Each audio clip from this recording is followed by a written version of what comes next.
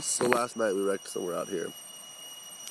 We swam about three hours to get to this island and slept a miserable, miserable night on the beach. Luckily we salvaged some water and food, but like from everything from like the hermit crabs to the horrendous mosquitoes to like the real wild animals like creeping all around. This was like an uninhabited deserted island, so there's like awkward sorts of stuff. Uh, we salvaged what we could from the raft and gave us some uh, some shelter and some protection. But we're hoping some boats will come by today. We can wave them down with some fire or some signs they're working on. So, just another day.